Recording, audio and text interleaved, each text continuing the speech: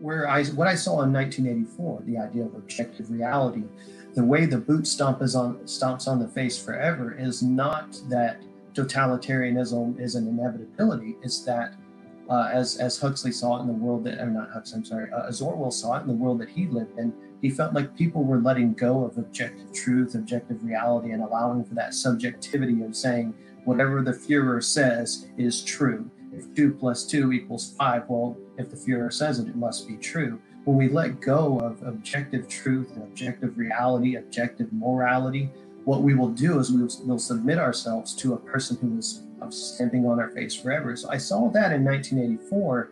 And then when I went and read Brave New World and, and rethought about that and thought about what was going on there, I realized these are two totally different books. People love to compare Brave New World and they love to compare uh, with 1984, Aldous Huxley and Orwell. They love to compare them and say who was right, which one had it right.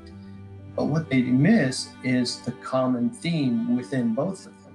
Though one 1984 comes through uh, obvious, terrible, disgusting power grab where there's just complete oppression in every way. And then in Brave New World, where you have these people who are living a, uh, a lewd lifestyle, a very graphically lewd lifestyle where they live.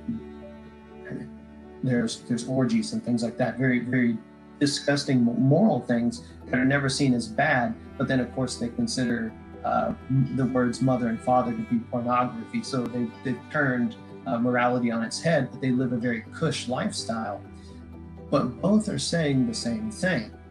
Mm. Talking about conditioning and about conditioning taking away the ability for someone to think objectively and about the individual, about holding on to the importance of individuality while simultaneously not allowing subjectivity to overtake and cause the individual to cease to exist. The reason individuals exist is because objective reality exists. If objective reality ceases to exist, then the individual no longer exists.